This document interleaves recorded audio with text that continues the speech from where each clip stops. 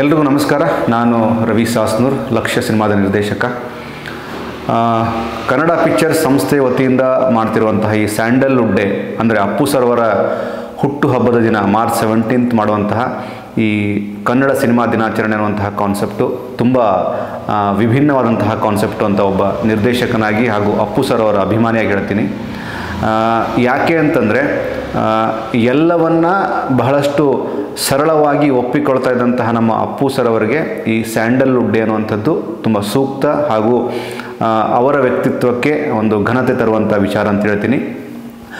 ನಾಡಿನಾದ್ಯಂತ ಇರುವಂತಹ, ಪ್ರಪಂಚದಾದ್ಯಂತ ಇರುವಂತಹ ಅಪ್ಪು ಸರ್ ಅವರ ಅಭಿಮಾನಿಗಳು, ಪುನೀತ್ ರಾಜ್ಕುಮಾರ್ ಸರ್ ಅವರ ಅಭಿಮಾನಿಗಳು ಖಂಡಿತವಾಗಿಯೂ ಮಾರ್ಚ್ ಸೆವೆಂಟೀನ್ತನ್ನು ಇನ್ನು ಮುಂದೆ ಅಪ್ಪು ಸರ್ ಅವರ ಹುಟ್ಟಿದಬ್ಬ ಮಾಡೋದ್ರ ಜೊತೆಗೆ ಅವತ್ತಿನ ದಿನವನ್ನು ಸ್ಯಾಂಡಲ್ವುಡ್ ಡೇ, ಕನ್ನಡ ಸಿನಿಮಾ ದಿನಾಚರಣೆ ಅಂತ ಮಾಡಬೇಕು ಅಂತ ನಾನೊಬ್ಬ ಅಭಿಮಾನಿಯಾಗಿ ಹಾಗೂ ಉದ್ಯಮದ ಒಂದು ಸಣ್ಣ ಭಾಗವಾಗಿ ಕೇಳ್- ಕೇಳ್ಕೊತಿದ್ದೀನಿ.